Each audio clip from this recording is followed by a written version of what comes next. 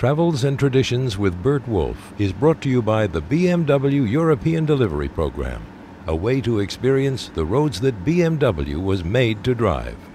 BMW European Delivery Program. And by Swiss International Airlines, flying to over 70 worldwide locations. Truly Swiss made. Swiss International Airlines. And by Sherry-Lehmann on Park Avenue in New York City, offering wines for over 75 years with an inventory of wines from all over the world. SherryLehman.com.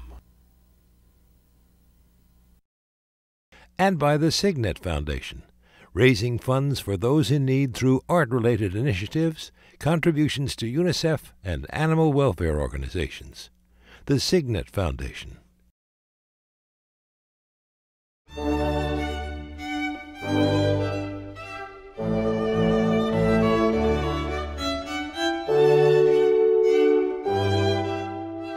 Having turned onto the Moselle River, we headed down to Cochem. Cochem started out as a Celtic settlement. Then the Romans came along, and finally the local German dynasties.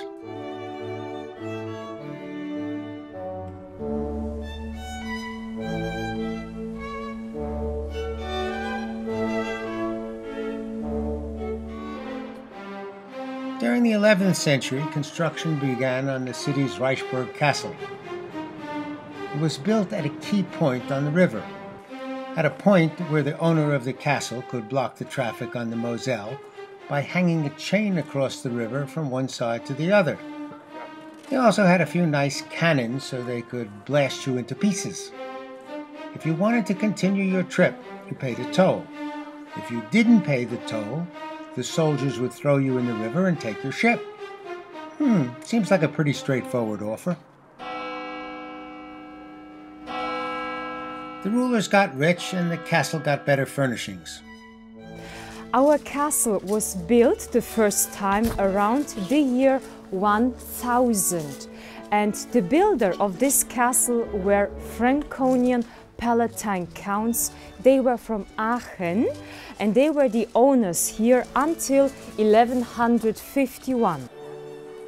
But in 1689 the castle was destroyed. It was blown up, burned down. Destroyers were French troops. It was Sun King Louis XIV. And he destroyed all the castles between Heidelberg and Cochem to make inheritance claims. All the walls are painted. These are not wallpapers. And you have to imagine that here in the past all the walls were colored with gold leaf. The style of the furniture we call Renaissance. A basic part of Renaissance design is balance. So if there's a door on one side of a room, there has to be a door on the other. But this door leads to a rather interesting room.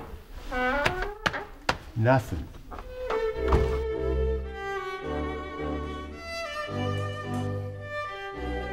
On the ceiling, can you see the four symbols?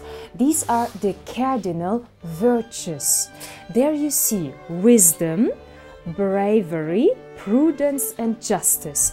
But for the fifth one, the chastity, we had no space in the room. But these are lions. The lions, they have a knight's helmet on the head. The visor is pulled down and therefore it looks like a frog. Maybe you've seen the same figure outside, a bigger one by the cannon. It's not a frog, a lion.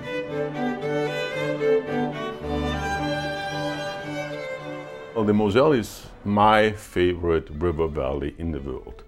I think it's about the most beautiful uh, part of Germany. It has the most beautiful, most charming towns. For thousands of years, people have been using rivers as a primary means of transportation. It was usually easier and safer to move things on a river than on a road. But many rivers were too shallow or too narrow for anything but a small boat. One way of solving that problem was to build a series of dams. The rivers got deeper and wider, but then you had the problem of a river with different levels similar to a set of steps. The invention that dealt with the steps is called a lock. A lock is a mechanical system for raising or lowering a boat as it passes from one level of a river to another. Like an elevator, it can take you up or down.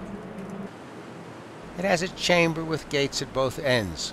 A boat or boats go in. The gates are closed and water is either pumped into the chamber to raise the boat or pumped out to lower the boat. When the water has reached the proper level, one of the gates is opened and the boat sails on. The first gates used in Europe worked like a guillotine. The gate was held in a frame and raised and lowered like a guillotine. One day, Leonardo da Vinci took a break from painting the Mona Lisa and invented a new and improved form of lock. The doors were in a V shape, so the downstream pressure actually kept them closed. In 1478, he oversaw the construction of six of these new locks, and they were fabulously successful.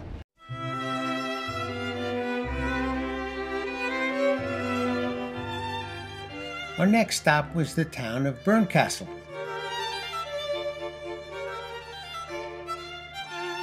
And we were able to dock at the edge of the old town and just walk in. The entry point to Bernkastel is the road that passes alongside the tower of St. Michael's Church. The tower was built in the 1300s and was originally part of the town's defenses.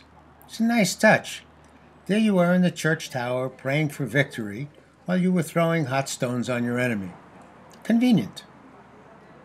And I think Bernkastel is my favorite. From the architecture, from the structure, from the way the town is set up, it is absolutely gorgeous. The town is most famous for its half-timbered houses. Half-timbered houses are made by building a frame of wood and then filling in the open space between the wood beams with clay, brickwork, or just plain rubble. The exterior and interior surfaces were often covered with plaster. It's one of the most environmentally responsible, ecologically friendly, and aesthetically pleasing architectural styles, and it was developed about a thousand years ago in Northern Europe.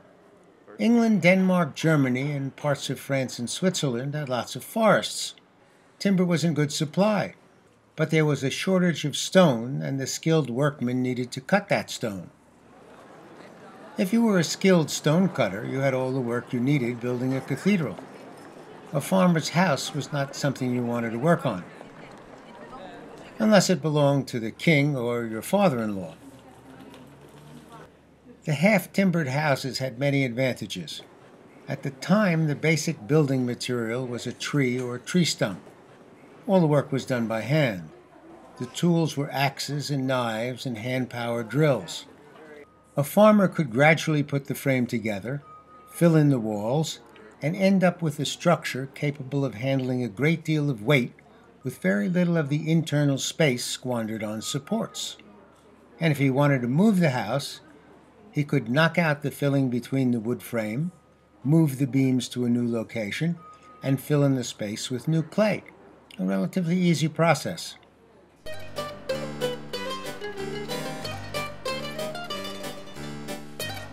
Bernkastel is also well known for its wine.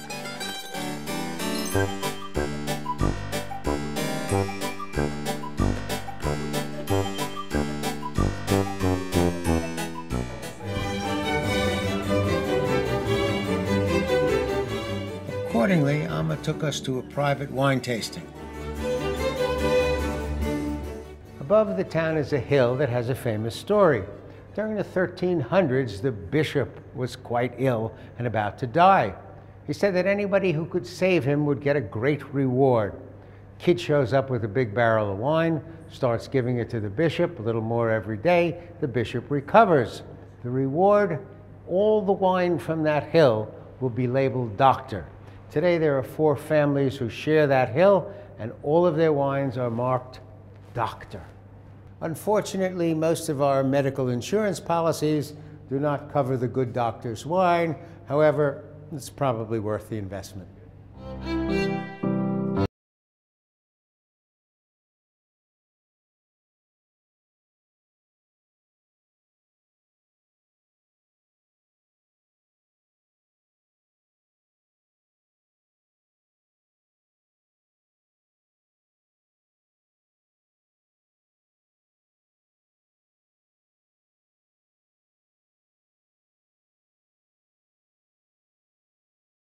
We returned to the ship, the captain was having a final night party.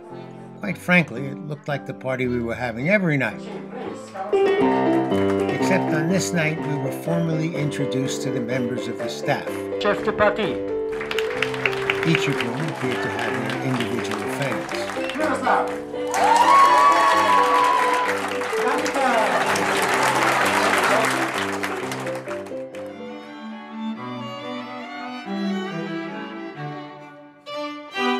Next day, we headed to the Grand Duchy of Luxembourg, one of the smallest countries in the world. It's wedged in between Belgium, France, and Germany, and has been a heavily fortified military site for thousands of years. It was often referred to as the Gibraltar of the North. This is the very place where we come from. In fact, uh, right behind me you have this uh, promontory, the Bock promontory, where the first castle of Luxembourg was built in the 10th century. We were a county, then we became a duchy in the 14th century, and then the Burgundians started a period of 400 years of foreign domination. After Burgundy, it was Spain, uh, France, Austria, um, Prussia, and uh, Holland who decided what happened with Luxembourg. They all left traces behind. Luxembourg always has been a very interesting uh, place uh, of strategic importance in the middle of Europe and you were always very close to your next friend or to your worst enemy right in the middle of Europe. Right now we are standing on the ramparts of our fortress walls. It was the perfect place to build a fortress. All you had to do was build ramparts, walls on the existing rocks that you see in front of, of you. These are the rocks and the typical sandstone that you will find everywhere in Luxembourg. And it, since it's a very soft stone, it was very easy to build ramparts and to dig what we call today the famous labyrinth of the casemates. Um, the casemate is actually a labyrinth of underground tunnels. So you have to imagine Luxembourg like a Swiss cheese. It's uh, under our feet. You have um, 17 kilometers of tunnels and galleries carved into the rock. This city has been built on two levels. Uh, we're standing on the upper level of the city, but then you have the lower part of the city and it goes down 50 meters. It was the perfect, the perfect setting for a fortress city. This was for centuries a battlefield of the Europeans and it has become a working place of the European Union, so symbolic. Luxembourg is a linguistic meeting point where the Germanic languages of Northern Europe encounter the Romantic languages of the South.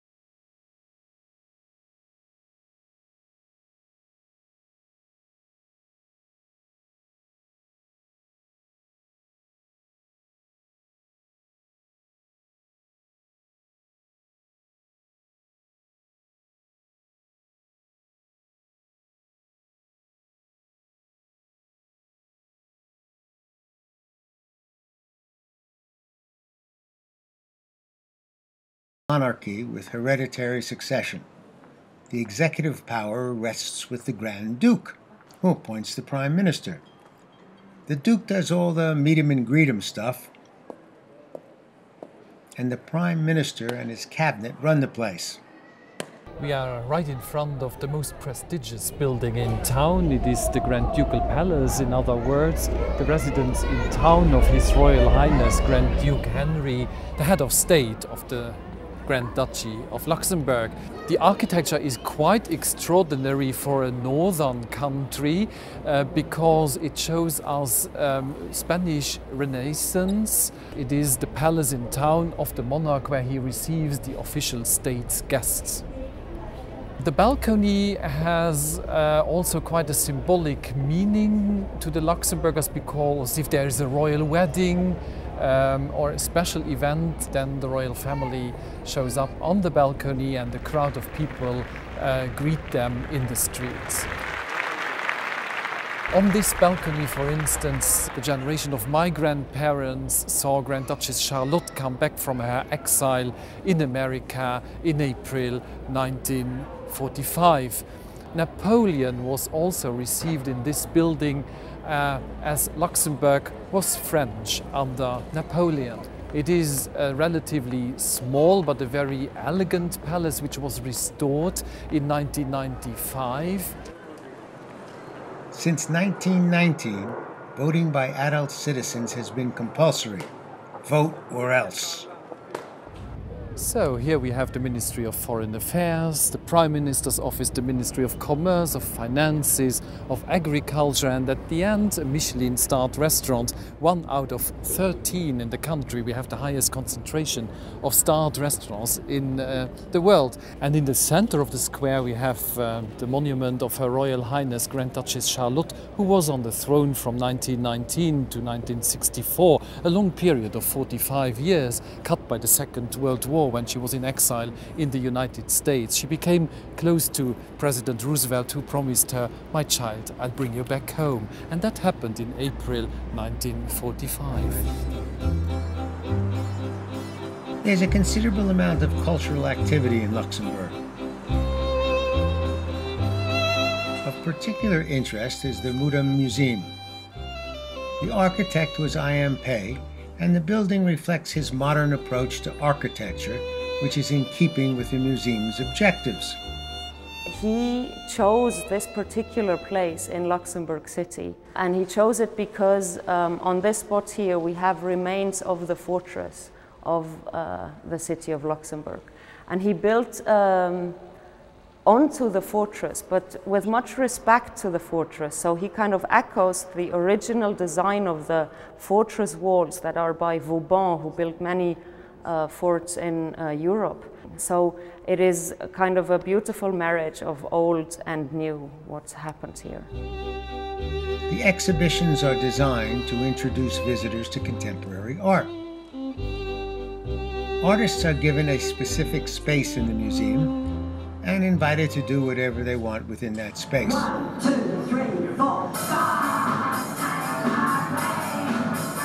More or less. This is a piece by um, Luxembourg's most famous artist. She is, uh, her name is Su-Mei Tse. That doesn't sound very Luxembourgish, and this is so because she is, uh, her father is Chinese, and what is quite interesting too is that she trained as a cellist. So every one of her pieces involves sound.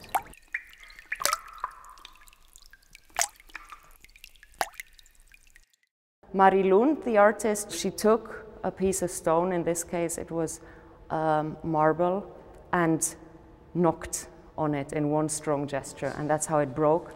And the break kind of creates a horizon if you want to look at the marble like a landscape. Now, how would I know this wonderful story if you weren't here to tell me? Well, that's why I'm here. that's what I do in the museum. I am the mediator. So basically, I am. I replace all the text on the walls and all the reading people have to do and the audio guide and whatever. We try to have real people to talk to the visitors about the art. I tell them that in case of doubt, it is always art. Because you are inside a museum and a, a piece of stone dropped somewhere uh, next to a wall is probably art because you are in the museum. Outside the museum, you can't be certain. Uh, and then I can start to explain how it got there and, and what it's doing.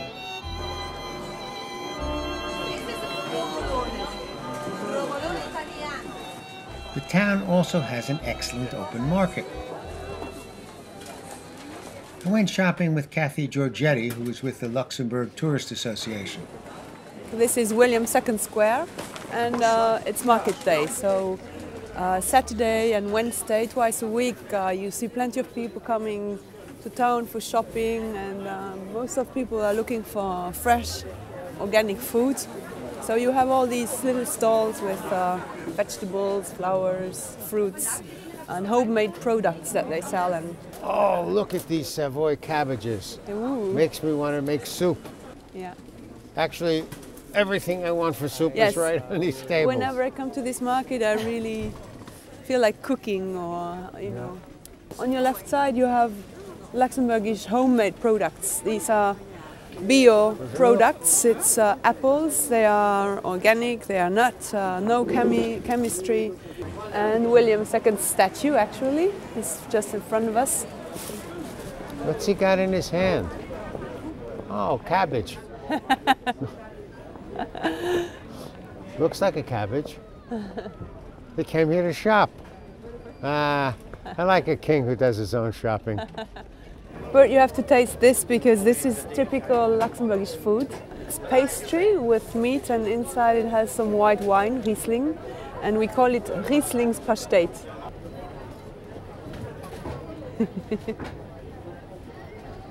Okay. What do you think? It's pâté en croûte with jelly. Yes? I got it. I got it. The nice thing is that you always see people that you know. Luxembourg is small, everyone knows everyone. It's more fun because you will meet your neighbors or some people you haven't seen, and then you go for coffee, and uh, it's also about socializing. That's what markets were meant Yeah. to be. And around the market are some outstanding shops. Right at the edge of the market is a little shop where they have all of the great wines made by the Luxembourg vintners, and you can come in and get a free sample of each. So uh, I'm going to be here for quite a while. I offer you a brief musical interlude.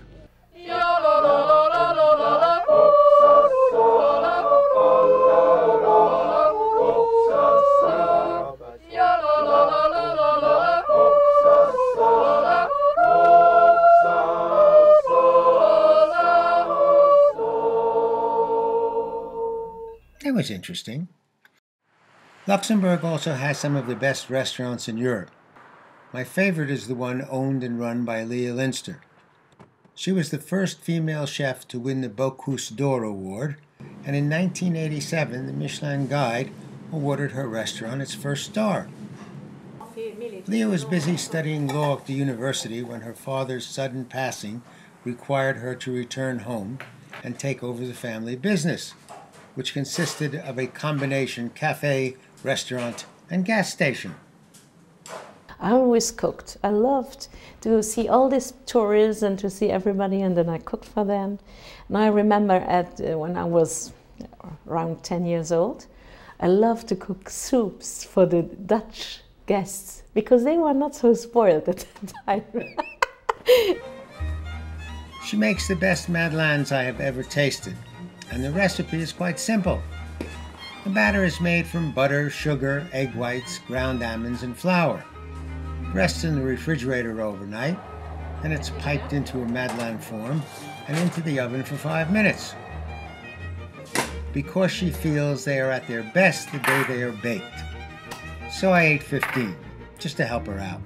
It's important to be there for your friends.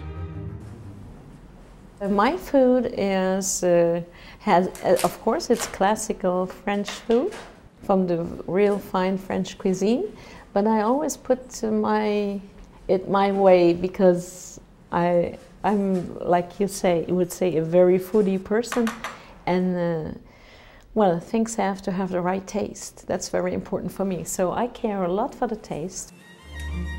She also prepared a saddle of lamb wrapped in potato crust. This was the recipe that won her the Bocuse d'Or. I put the full recipes for the Madeleines and the saddle of lamb on our website, burtwolf.com. Well, that's sailing from Cochem to Luxembourg. For Travels and Traditions, I'm Burt Wolf. For a printed copy of this show, send a stamped envelope and $3 to this address. Please mark envelope with show number. The same information is available free on burtwolf.com. Meitli, Buber, Frau und Mann, fast in der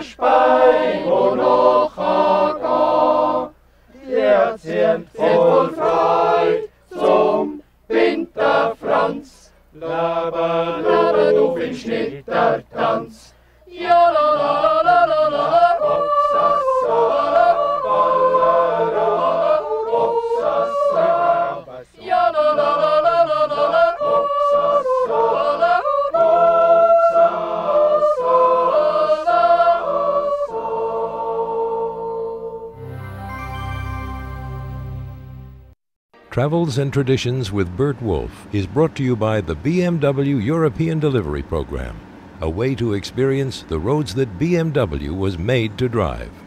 BMW European Delivery Program. And by Swiss International Airlines, flying to over 70 worldwide locations. Truly Swiss made. Swiss International Airlines and by Sherry-Lehmann on Park Avenue in New York City, offering wines for over 75 years with an inventory of wines from all over the world. SherryLehman.com. And by the Signet Foundation, raising funds for those in need through art related initiatives, contributions to UNICEF, and animal welfare organizations. The Signet Foundation. Thank you.